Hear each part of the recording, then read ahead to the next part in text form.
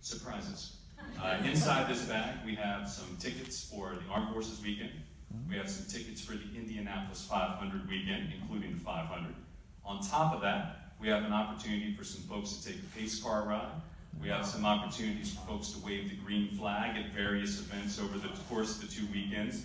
And then I believe there is also an opportunity for someone to ride in the Grand Marshal Parade right before the 500. So on behalf of our entire Crown Royal all the folks at Andretti Autosport, uh, we'd like to present you and the Indiana National Guard um, what we consider, again, a very small token of our appreciation for everything that you do.